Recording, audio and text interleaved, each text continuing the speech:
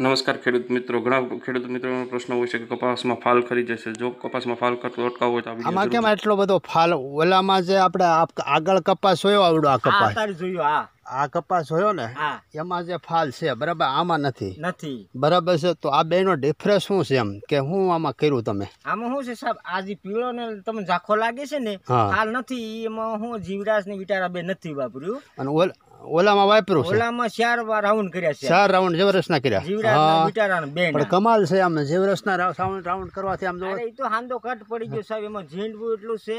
ને એસી નેવ નેવ ઝીંડવા થઈ ગયા ને ફાલ હજી છે ને કપા ટકી રહી છે એની કન્ડિશન આ પીળો પડી ગયો ઝાખો પડી ગયો. હા. એટલે કારણ કે આમાં. જીવરાજ ને વિટારા ને બહુ સારું કામ આપે છે. જો આમાં. આ જો આનામાં કેટલો હાંદો પડ્યો કાળો એકદમ લાઈટમાં કપા છે. ઝીંડવું એટલું આ થળિયેથી બંધાઈ ગયું છે. આમાં ઝેંડું બહુ છે. થળિયેથી ખાલી થઈ ગયો ને ફાલ નથી ને ઝાખો પડી ગયો હા. પડી અને આપણે તમે આ ખેતરની મુલાકાતે આપણે તારીખ બે દસ દસ તારીખ બે દસ બે હજાર ઓગણીસ. આજે તારીખ થઈ ને? આ તો આમાં ઘણું ઝીંડું કહેવાય વાવણીનો છે કપાસ. વાવણી કપાસ કપાસમાં ઝીંડું ઘણું કેવાય કહેવાય ઘણું પિક્ચર ઝીંડવું છે અને આ- ફાલ એટલો છે. હા આમ જો.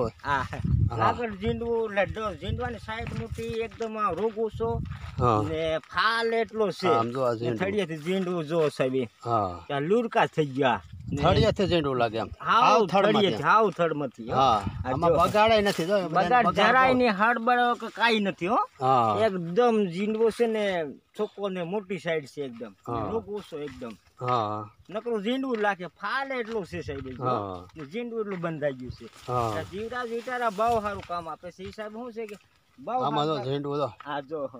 લાગે ઝીંડું. હા. એ બાજુ છે ઝીંડું? આ ઝીંડવું જો ને સાહેબ હા.